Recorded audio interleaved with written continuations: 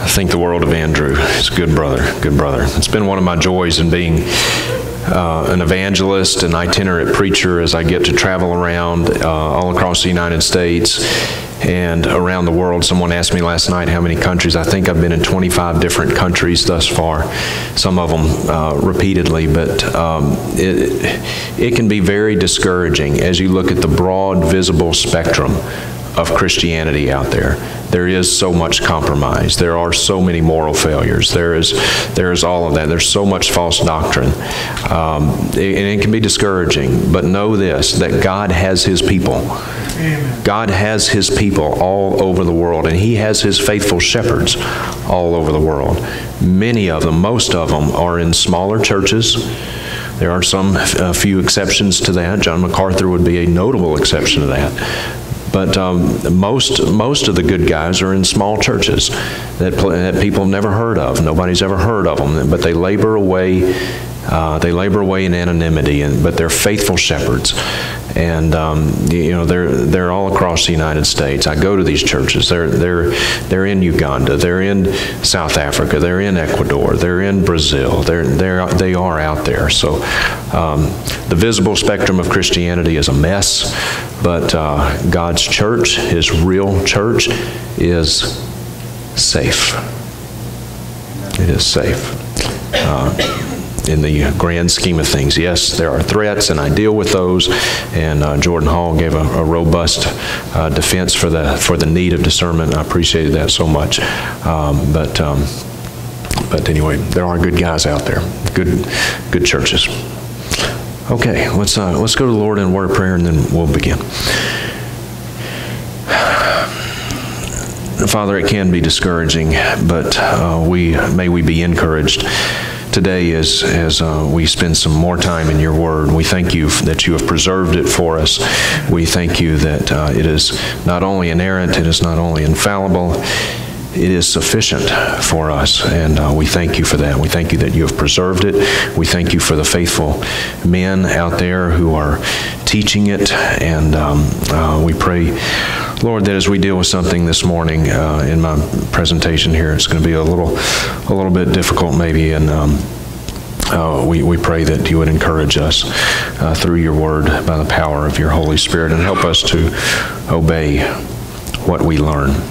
Lord, um, even though specifically uh, Christians are more led by the Holy Spirit than convicted by Him uh, in the New Testament, uh, we pray that, uh, that He will bring to us uh, needed correction uh, in this time. All for the glory of Christ. And it's in His name we pray. Amen. I invite you to take your copy of God's Word, open to the book of James, please. James chapter 3.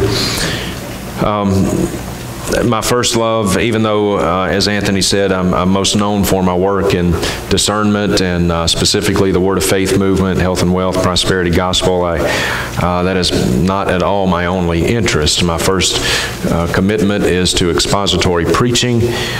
Uh, that is where my heart is. That is where the, the power is. And uh, I, but today we will be doing something more topical, though we will look at uh, several texts, but this will be a bit more topical. But uh, the title of this is Taming the Tongue and the Keyboard.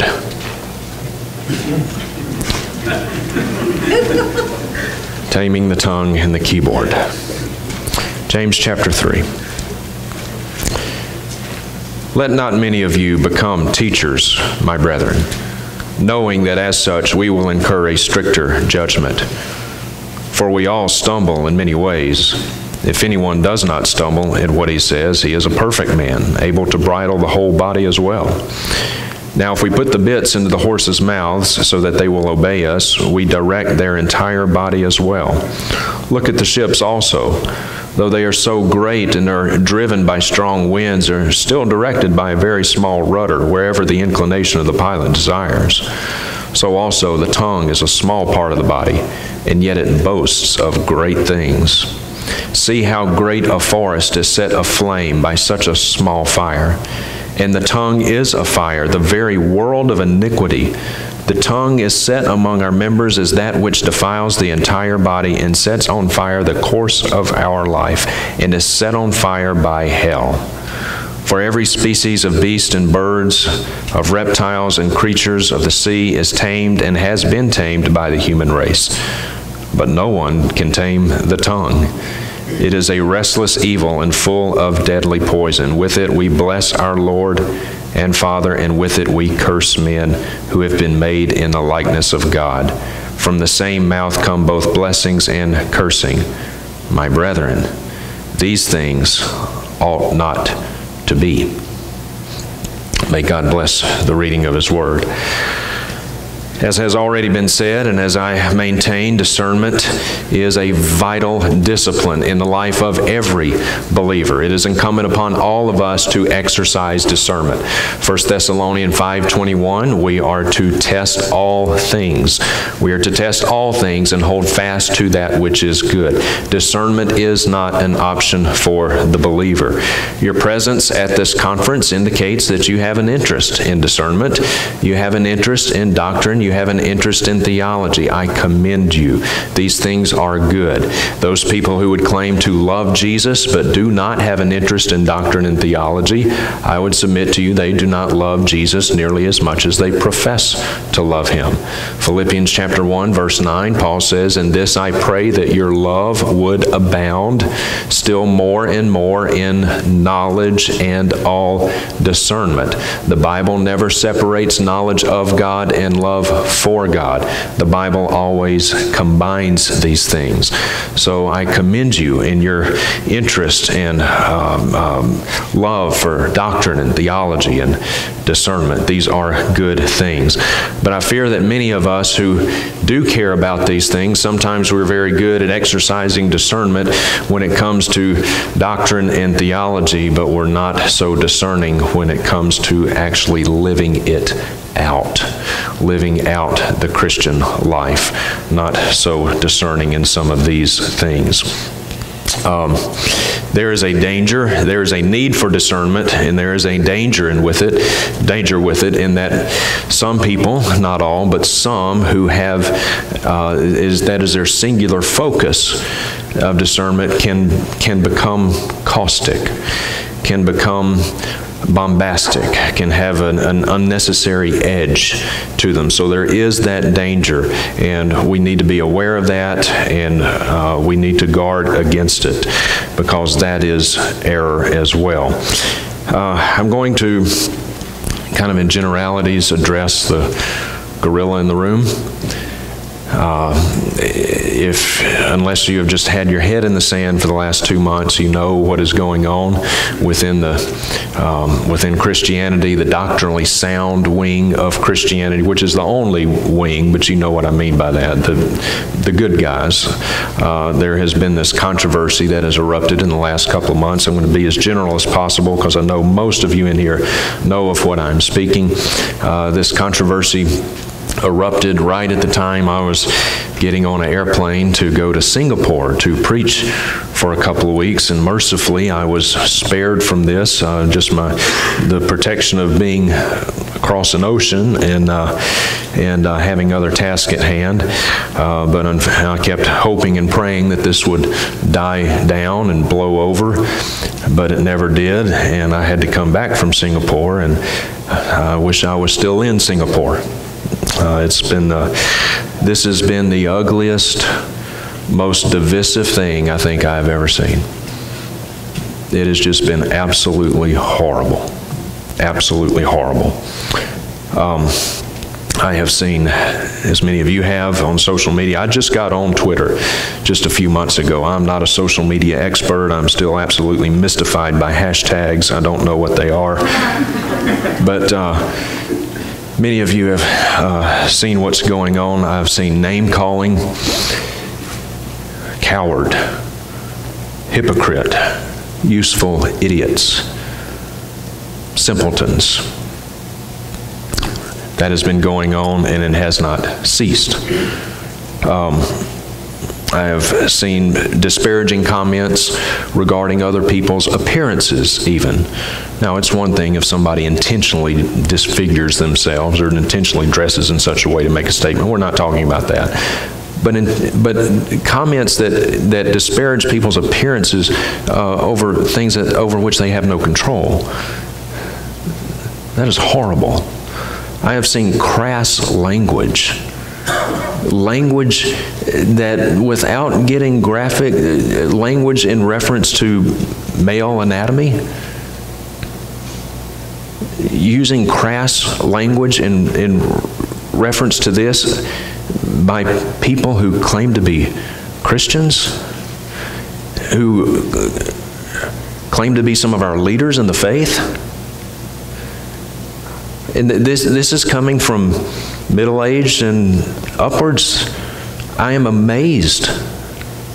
I am amazed at how people in their middle age and, um, and even above years, somehow when they get behind a computer screen and have a keyboard in front of them, they revert to the maturity of some of a kid in junior high.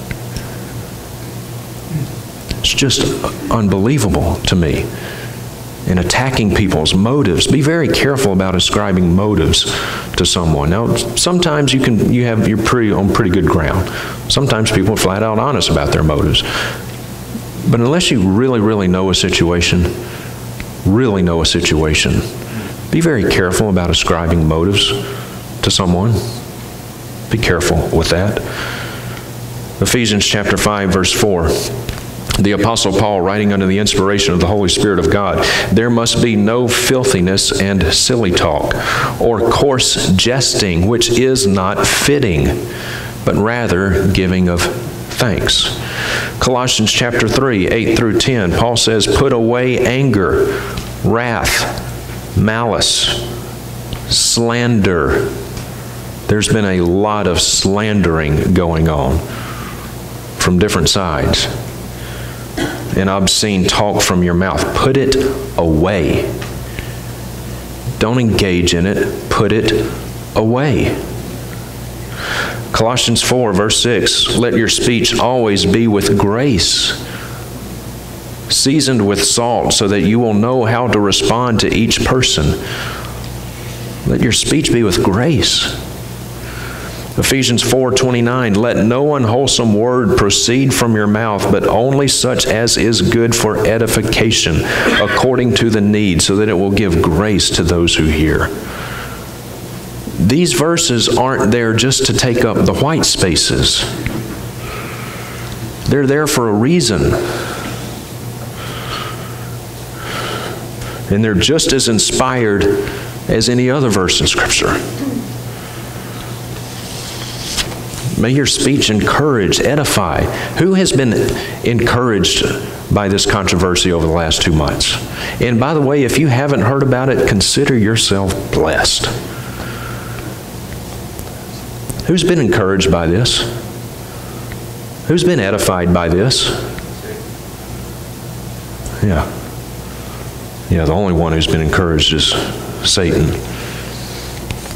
There has been gossip tale bearing. I'm going to, as best I can, stay away from names.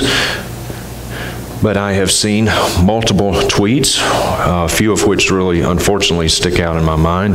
But um, one well known quote unquote minister and uh, said that he has it on good authority that half of the staff of a particular church does not like one of his staff members. He has on good authority. Really, does he? Is that a fact? Well, I happen to have it on good authority that that's not true. And he has it on good authority. Think about the levels of sin in this. That is the definition of gossip and talebearing. That's the definition of it. And you're going to start off by sinning, by gossiping and talebearing, and then add on to that sin, use that sin to lead into the sin of intentionally trying to cause division within the elder body of another church. What are you doing? Proverbs 6, verse 16 There are six things the Lord hates, yes, seven that are an abomination to him haughty eyes, lying tongue, hands that shed innocent blood, a heart that devises wicked plans, feet that run rapidly to evil. There is something wrong with someone who enjoys strife, who enjoys evil false witness that utters lies, one who spreads strife among the brethren, one who spreads strife among the brethren. That is an abomination to God. That is an abomination to God.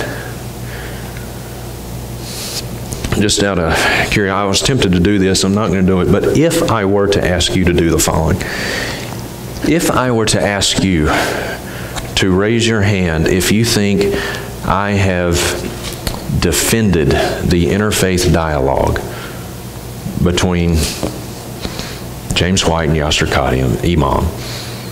Raise your hand if you, no, I mean, don't, but if I were to, if I were to ask you to raise your hand if you think I've defended that, if you think I've defended James White, do you know what? I bet, I bet most of the hands in here would go up.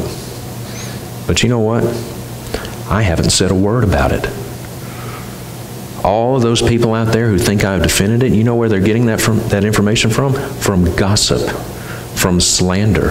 I have not said one syllable until this very moment about that interfaith dialogue that, by the way, happened back in January. And I can't tell you all the emails that I'm getting from people. Oh, Justin, I cannot believe. I never thought you would compromise. I never thought you would compromise. I never thought you would I had one lady email me. She said, I, I never thought that you and another prominent minister would, well, I'll just say, she said, I never thought you and John MacArthur would, would put Islam over Christianity. Like, what? What are you talking about? What a lie. You know where she's getting this information? From gossip, from slander talebearing, intentionally trying to foment division among the brethren, and God hates it.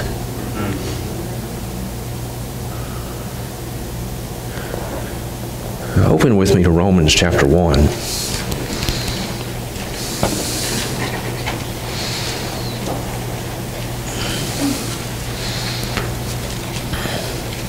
As you're turning there, since I've kind of opened this can of worms a little bit. And, and I, um, as I said, I've not said one word about this, and there's a reason I haven't said one word about it because mercifully, I, I, wanted it to, I wanted to just blow over in the end, and I saw how ugly it was. I saw how divisive it was being. I saw how it was just splitting people right down the middle, and I didn't want to weigh in into it. I didn't want to contribute anything to it. But there's been so much, and so many lies, so many, so many, so many slanderous statements, so much gossip that it's, it's. I fear that my hand has been forced. And even the Apostle Paul finally got to a point where he had to defend himself against lies and slander. And, uh, and I'm not trying to do anyone any harm. Um, but just so you know, so maybe at least you will know, and very soon I'll, I'll my, my ministry, my board, put up a statement about this. I don't defend the interfaith dialogue. I wouldn't have done it. If I'd have lived in the area and known about it, I would not have attended it. I wouldn't have held it at a church. Now, I understand the church is not a building. I understand that. It's, it's the church is the called out ones. I, I understand that. I get that. But there's an optics issue there for people who don't understand those theological specifics and nuances, I wouldn't have held it in church. But you know what? Contrary to what um, some have said about me, that I criticize something I've never watched. Oh, I have watched it. I've watched both of those sessions twice, one of them three times. Like I say, don't, don't say that I'm defending it. I'm not defending it. I wouldn't have done it. But fair is fair. The gospel was presented. The deity of Christ was defended. The, the Trinity was expounded upon. Atonement, justification, redemption, salvation by grace alone, through faith alone, in Christ alone, the exclusivity of Christ. All of these things were there, and they were clearly there. And anyone who says they were not there either does not know what he or she is speaking of or is being intentionally dishonest. The gospel was there. And you know what? God does save some of his sheep out of Islam and out of Buddhism. And if there were people there, some of God's sheep wandering around aimlessly in that Islamic wasteland, there was more than enough there for one of God's sheep to perk his ears up and hear the voice of the shepherd and go to him. Did that happen? I have no idea. But anybody who would say the gospel was not there either doesn't know what he or she is saying, is being intentionally dishonest. But all of this, all of this is stemming from gossip and talebearing and slander. Now, Romans 1, 8, I mean, excuse me, 28. Romans 1, 28 through 32. This is a sobering passage of Scripture. The Apostle Paul writing says, And just as they did not see fit to acknowledge God any longer, God gave them over to a depraved mind. Don't miss that. God gave them over to a depraved mind to do those things which are not proper. Being and watch this list of sins: being filled with all unrighteousness, wickedness, greed, evil, full of envy, murder, strife, deceit, malice. They are gossips, slanderers haters of God, insolent, arrogant, boastful, inventors of evil, disobedient to parents, without understanding, lacking discernment, untrustworthy, unloving, unmerciful, and although they know the ordinance of God that those who practice such things are worthy of death, they not only do the same, but also give hearty approval to those who practice them. That is a sobering passage of Scripture. Dear friends, Paul here is not talking about immature Christians. He's not talking about backslidden Christians. Backslidden's not even a New Testament concept. He's talking about lost people. These are people who have been given over to a depraved mind. He's talking about the condemned. And right in the same list of sins, horrific sins, the sexually immoral, the wicked, the people who invent evil things, who hate God, right in that same list of sins, gossip, slander. Do you see how serious this is? And may I, may I submit to you that if your life is marked, characterized by one or more of these sins, then you really need to do some inventory you really need to examine yourself to see if you are in the faith. Gossip is a serious sin. It's in the same list of all these other sins. Now, we're not talking about an check check an occasional stumble into sin.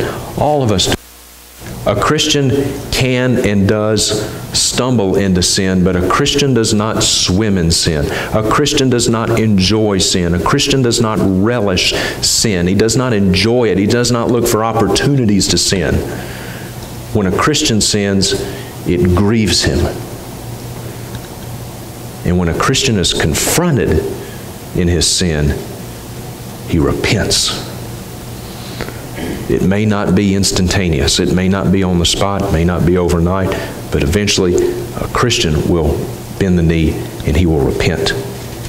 And so if your life is characterized, marked, you have an habitual display of one or more of these sins, you need to examine yourself to see if you're in the faith because that's not how a Christian acts. Dear friends, the Holy Spirit of God not only illumines the meaning of God's Word to us, He also gives us the ability to obey. He gives us the ability to obey it, to appropriate those truths. The Holy Spirit is not a weakling. He's not a theological girly man. He is strong. 1 Corinthians 6 Do not be deceived.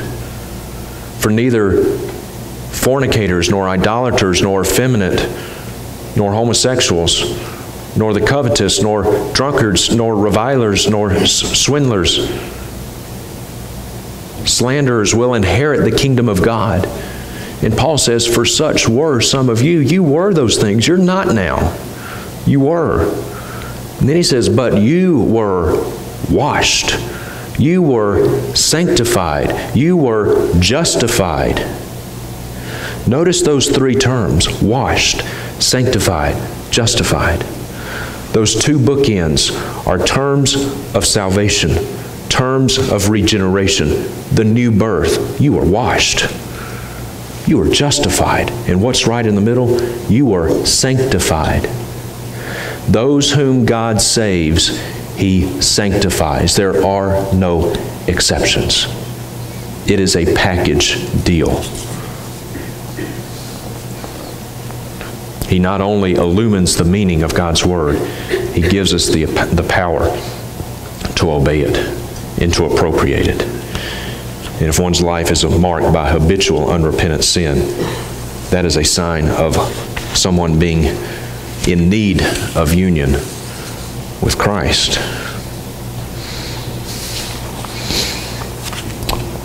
There is a time and a place for confrontation.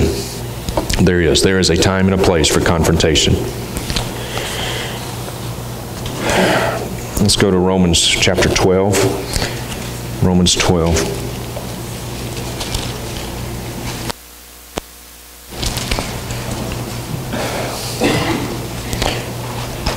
Paul says, verse 17, never pay back evil for evil to anyone.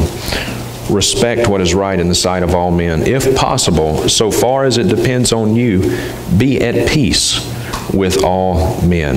Never take your own revenge, beloved, but leave room for the wrath of God, for it is written, Vengeance is mine, I will repay, says the Lord. Paul says, if possible, so far as it depends on you, be at peace with men. Sometimes it's not possible to be at peace with all men. Sometimes we have to stand and we have to fight. If possible, though, as far as it depends on you, be at peace with all men. We are to be at peace with unbelievers. Our conduct is to be godly conduct, in part to be a witness for the gospel of Christ amongst unbelievers. It is important that we have a godly witness to the watching world be at peace with unbelievers. And you know what, dear friends? That includes being at peace with Muslims. Now, I am under no illusions.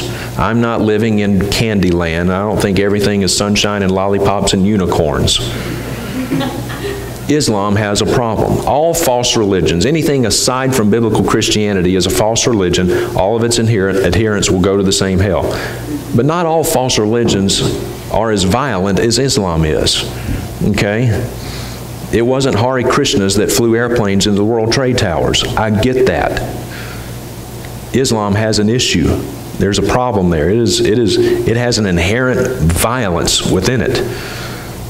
I understand that. I get that. But as has already been said this morning, the greatest threat to the Islam poses no threat to the church. Okay? John chapter 10. John chapter 10 says a stranger, they simply will not follow or flee. I think I'm, are we losing the batteries? This keeps going in and out. Do you think the batteries need replacing?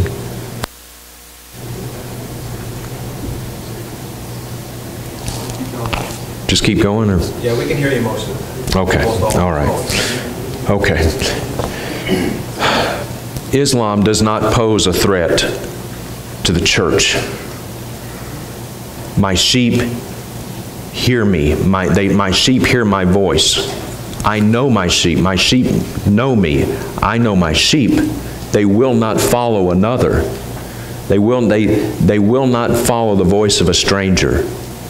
Read John chapter 10, all throughout John chapter 10.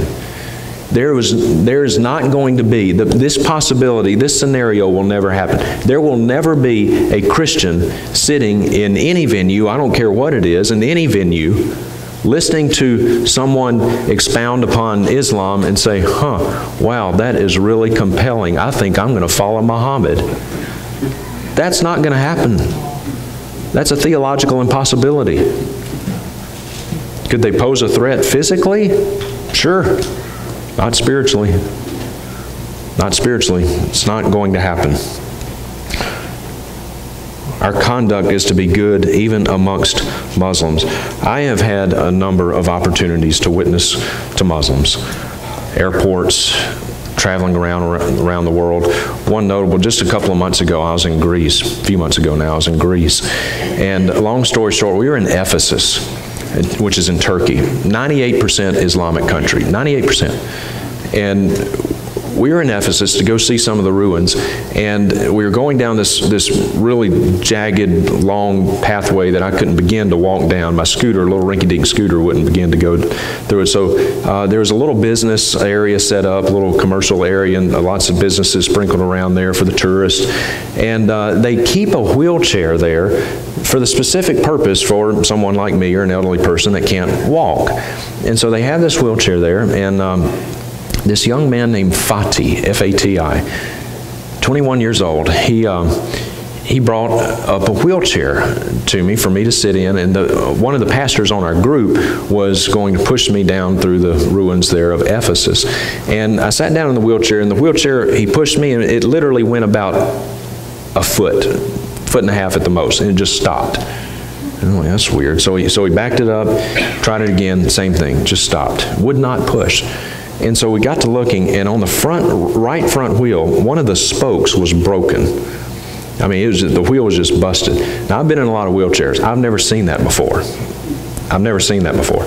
But the the spoke was busted, and uh, so Fati was there, and he said, "Wow," he said, "This is really strange. This is a wheelchair. It, we just used it yesterday, and it was fine, but now it's busted."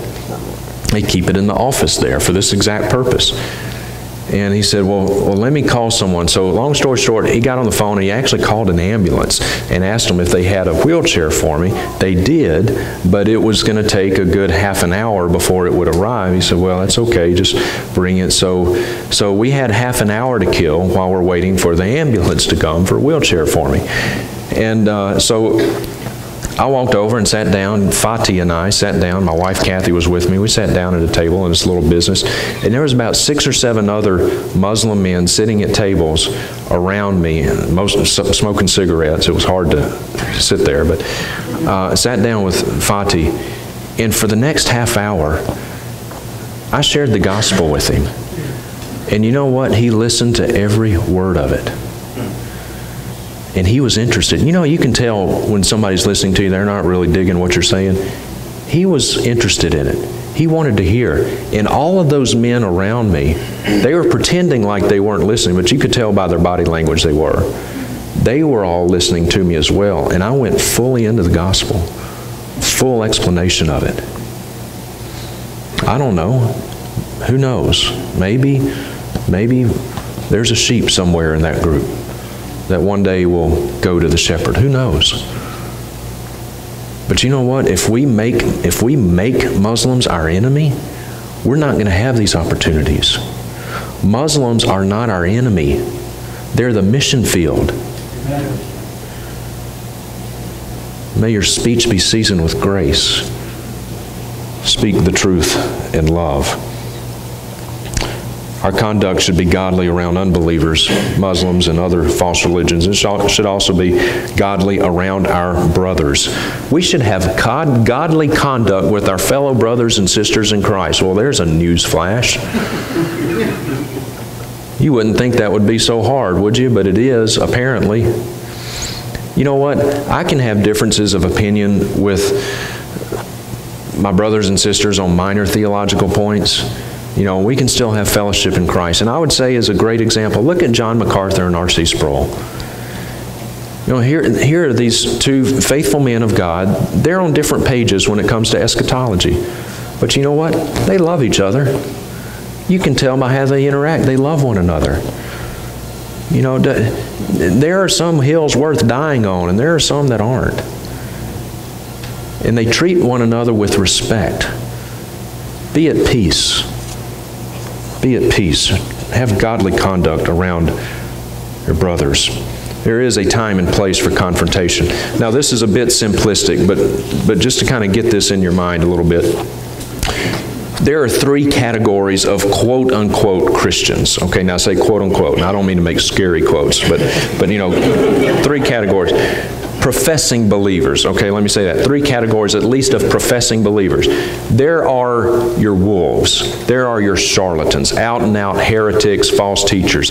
Benny Hinn, Kenneth Copeland, Joel Osteen, Bill Johnson. Uh, the, these guys, uh, Todd Bentley, claim to be Christians, but they're not. Okay, they're not. You can tell by what they teach, you can tell by the conduct of their lives, you can tell by their complete lack of discernment and con- years and years and decades even long of teaching heresies. That's not a Christian. People who exploit the poor and the sick and the elderly financially, those aren't Christians. Those are wolves. You don't have to treat them with kid gloves. They must be opposed vehemently, stridently opposed. They're wolves. But then you've got another group, and they're what I call kind of the confusing brothers. There, are some people who, some men who have the right gospel, uh, at least seem to, maybe not go into some of the depth I would like, but they're not teaching heresy. You know, they're, they're, not, they're, not, they're not false teachers.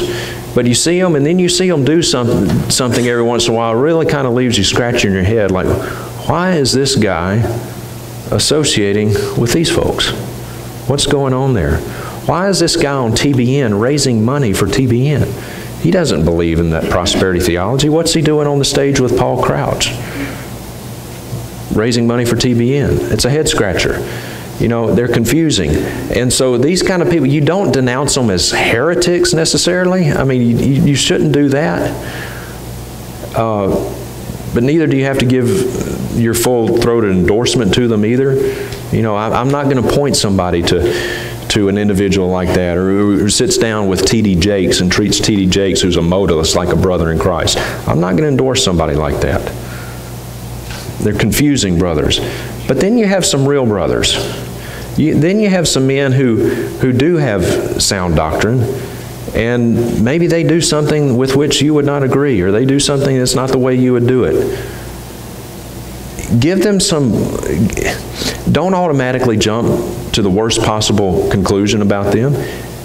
If they have a long track record of faithfully preaching the gospel, faithfully, faithfully defending the gospel, standing up for the exclusivity of Christ, salvation by grace alone, through faith alone, and Christ alone, especially if they, if they hold to the doctrines of grace, God's sovereignty and salvation, they have ably defended Islam and Roman, uh, or debated Islam and Roman Catholicism and any number, number of these other cults, and they do something that kind of leaves you scratching your head, don't automatically brand them as an enemy. Give them a little space. And, and ask yourself, all right, well, is this, is this really something I ought to be overly concerned about? Is this, is this really a threat? Ask yourself that question. Is, is it really that serious? Remember this, dear friends. I'll quote my wife here. She says, The best of men are men at best. The best of men are men at best. And you know what? Every once in a while, even the, the the solid, the top of the top guys whom we would all love and respect, every once in a while, once in a blue moon, you might hear them say something that kind of makes you do like a, a dog cocking his head. You're like, don't jump all over their case if that happens. They've got a long track record. They've earned the benefit of the doubt, don't you think? Is it really that serious? Is this issue really that serious? And if it is, here's what I would commend to you. If you think the issue is really that serious, pick up this new invention that's just come out. It's called a telephone. And you call that person and you say, hey, I heard you say such and such, or I saw you do such and such. Can you help me understand that? Send them an email. Write them a letter. Don't automatically start blasting them. Call them enemies. Go to him in private. Galatians chapter 6 verse 1, brethren, Galatians 6, verse 1 Brethren, if anyone is caught in a trespass, you who are spiritual, restore such a one in a spirit of what? Gentleness. Restore such a one in a spirit of gentleness, each one looking to yourself, so that you too will not be tempted. Oh, well, he's got a he's got a public ministry, so he's open to public critique. Well, yeah, I've got a public ministry, and my ministry is open to public critique, critique too. But I hope if I were to say something that somebody finds a little odd or just doesn't sound like something I would normally say, that they would give me the benefit of the doubt and call me before they start blasting me all over the evil world of social media. Boy, I tell you, Spiritual maturity can be measured in great part by how one handles persecution, by how one handles temptation, and by how one handles social media. it's a pretty good marker of just how mature a person really is. And if you don't get a reply from this person, before you blast them again, ask them ask the question again, is it really that serious? Is it really worth it? Do they have a solid track record? Yeah, the good guys do. Here's another question Are they members in good standing of a good, solid local church? And you know what? All the good guys are. Not only are they members, many of them are actually elders in their churches. So if someone does something that you find a bit odd or you, you might even disagree with, know that that person, the good guys, are, in member, are members of good standing in their churches and they have an elder body around them. They may be elders themselves, but they have an elder body around them to provide them with a level of accountability that you and I can't do. There's that, that's any, I was, we were talking this, this morning, parachurch ministries. If the church was doing exactly what it should, if the church was hitting on all cylinders, there would be no need for a parachurch ministry. And I say that as a head of a parachurch ministry. If the real church was doing what it should, then there wouldn't be so many people deceived by word of faith and all this other stuff. Parachurch ministries do have a place.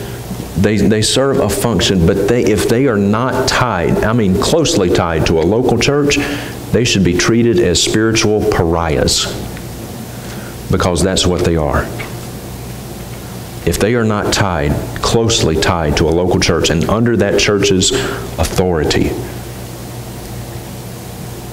then they are doing more harm than good don't bring an accusation against an elder lightly. 1 Timothy 5:19 Do not entertain an accusation against an elder except on the testimony of two or three witnesses. Are elders perfect? Are they uh, can they never make a mistake? No, that's not the case at all. But the position which they hold do does carry with it some some respect. It does carry with it some authority in a sense. And we are to give these men the benefit of the doubt. Don't bring an accusation against an elder unless it's serious, unless you have people backing you up. It's a serious thing. Don't do it lightly. And remember, if you're not a member of their church, they have elders. They should be members. They are, it's not that they are above criticism, it's not that there cannot be legitimate accusations, but be careful. Ask yourself, is this really worth it? Is it really worth it? Matthew chapter 18. Jesus says, verse 6, Matthew 18, verse 6, Jesus says, Whoever causes one of these little ones who believe in me to stumble, it would be better for him to have a heavy millstone hung around his neck and to be drowned in the depths of the sea. It's a very serious thing to put up a stumbling block for other believers. A very serious thing. Jesus says it would be better for you to have a millstone, a big heavy stone that donkeys pulled around, hung around your neck and thrown into the sea, than to cause one of these little ones, these people who are weaker in the faith, younger in the faith, immature in the faith, maybe more so than you, to cause one of them to stumble. And I can tell you, this, this interfaith dialogue thing happened back in January. And you know what? No one was really stumbling over it. Now, everybody's stumbling over it. There's tons of people stumbling over it.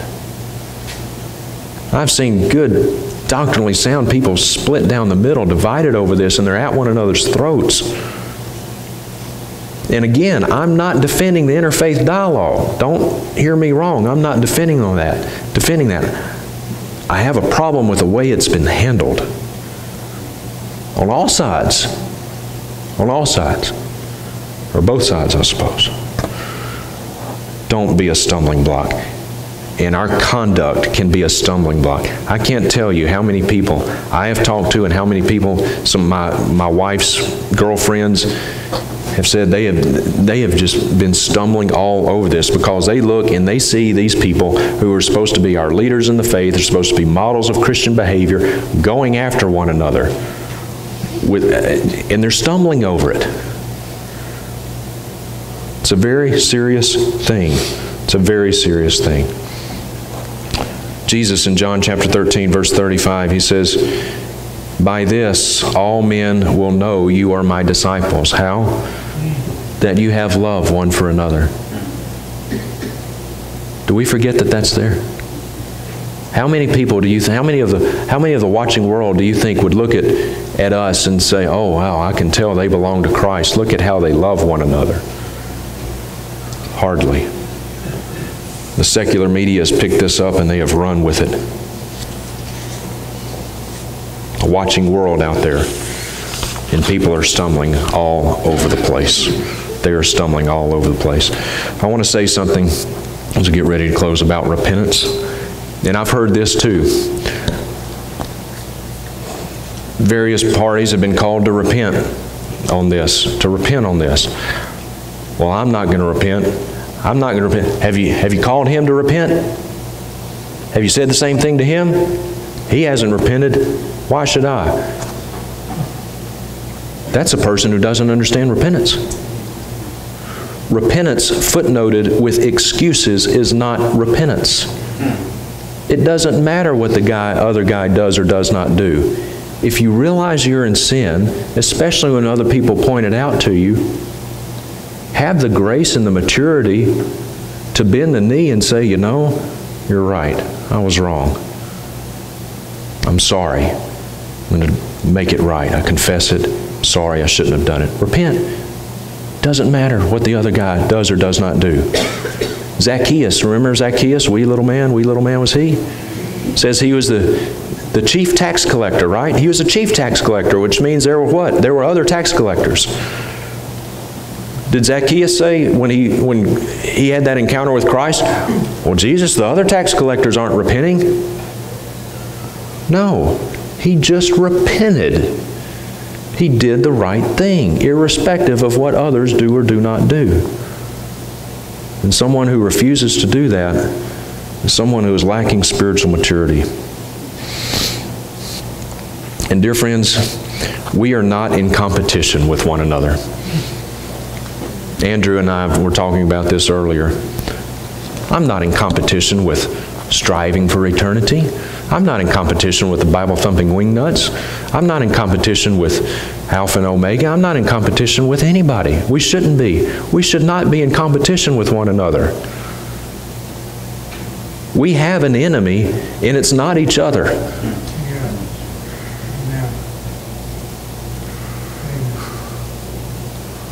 We shouldn't be about building our own kingdoms. We should be about working for the kingdom and for the king who reigns over that kingdom. And God doesn't need any of us. I think a lot of a lot of these people they get egos and they think, "Well, God needs you. God needs me." You know what? God doesn't need me. I could drop dead before I finish this sermon. And God could raise somebody else up to do exactly what I'm doing, probably do a much better job of it. God doesn't need me, He doesn't need you. We are bugs on God's windshield. He doesn't need any of us. We should consider it joy and a, an incredible blessing and privilege just to be used of the Lord. We should not be in competition. Turn with me to Jude, and we'll begin to land this plane. Jude verses 3 through 4.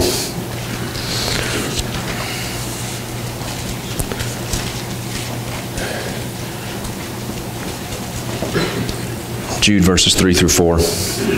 Jude says, Beloved, while I was making every effort to write you about our common salvation, I felt the necessity to write to you appealing that you contend earnestly for the faith which was once for all handed down to the saints. For certain persons have crept in unnoticed, those who were long beforehand marked out for this condemnation, ungodly persons who turn the grace of our God into licentiousness and deny our only Master and Lord Jesus Christ. Don't miss how he opens that section. He says, Beloved, I was making every effort to write to you about our common salvation. In other words, Jude was saying to his readers, Men, brothers, sisters, I would love nothing more than to write to you about our common salvation. I would love nothing more than to just write to you about the gospel, to talk about the glories of our King, the richness of His mercy. What a privilege it is to be adopted into the family of God through the finished work of Jesus Christ on the cross. How merciful God has been to us. I would love nothing more than to talk about that. But I felt it necessary to write to you to warn you. There's false teachers. Peter warned about them. Jude says they're here certain men who have crept in unawares. Jude knew that there was a time and a place for warning about false teachers. There is. 25 of the 27 books in the New Testament directly warn about false teachers. It is a mandate from Scripture. False teachers have been a problem in the church practically since day one. They remain a problem today. It is incumbent upon us to mark them, Romans 16, and avoid them and warn people of them. This we must do but it is a task that should grieve us. It should grieve us that it is even necessary. And I think I can say with a crystal clear conscience before God that I enjoy doing what I do in my seminar, Clouds Without Water, going around the world teaching people, equipping people, because by God's grace, He allows me to see just a little bit of the fruit of that. And I'm encouraged by that, that people are being helped, they're being equipped. That encourages me. It does. It keeps me going. But you know what? At the same time, I wish this was not necessary. I would love nothing more than to wake up in the morning and see splattered all over Drudge Report, Benny Hinn repents. I would love nothing more than to have all these false teachers either come to an overdue end or repent and bend their knee to the Lordship of Jesus Christ. I wish it wasn't necessary we should much rather spend our time talking about the glories of the gospel. It should grieve us that this is necessary. And there is something wrong if someone seems to enjoy strife, to enjoy division, to enjoy um, engaging in these issues and battles. Is it necessary? Yeah. But I wish it wasn't.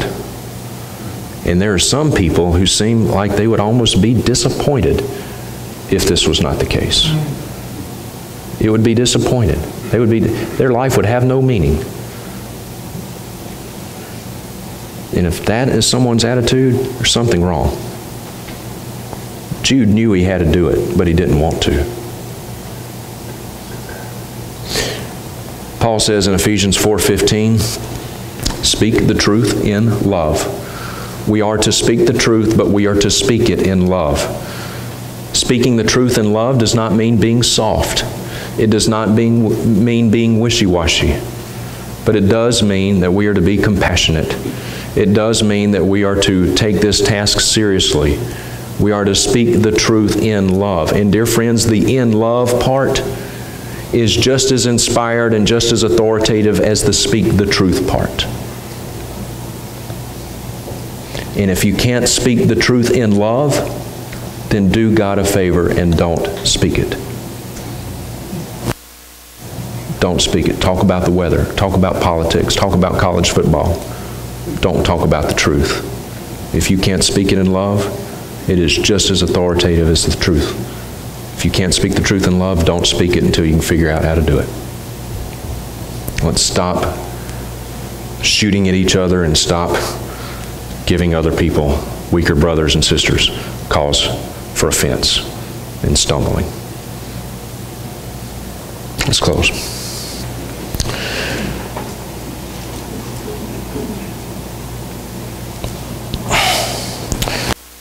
Father, we pray that as your children, those who have been graciously adopted by you into your family, that that as your Holy Spirit illumines the meaning of your word, He not only does that, but He also uh, that we also avail ourselves to the power that He gives us to appropriate it. And if we can't live out what we teach, we we shouldn't teach it. We, we shouldn't speak the truth if we can't speak the truth in love. So, Lord, help us to do that. And, uh, Lord, bring correction uh, for those of us, myself included, if we err in that. And, uh, Lord, we do pray for unity among the brethren, per John 17. It's in Christ's name we pray. Amen. Quick announcement.